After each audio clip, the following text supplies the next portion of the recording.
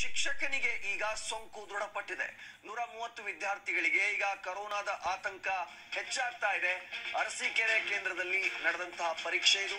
S S L C ಪರೀಕ್ಷೆ.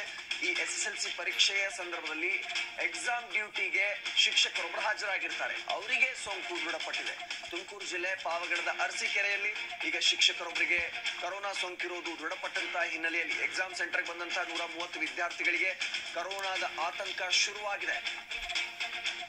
ಇಪ್ಪತ್ತೆರಡರಂದು ಶಿಕ್ಷಕನಿಗೆ corona test ಅನ್ನ ಮಾಡಿಸಲಾಗಿತ್ತು. ಈ ವಿಚಾರವನ್ನ ಮುಚ್ಚಿಟ್ಟು ಎಕ್ಸಾಮ್ ಡ್ಯೂಟಿಗೆ ಶಿಕ್ಷಕ ಹಾಜರಾಗಿದ್ರು.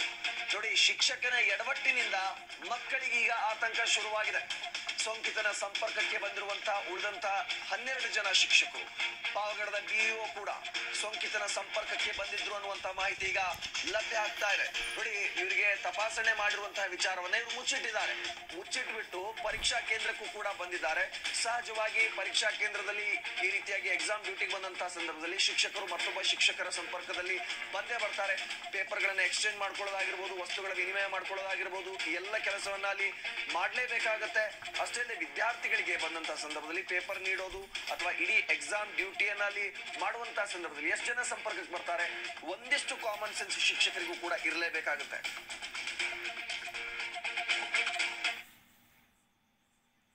Dostlar isiptaydan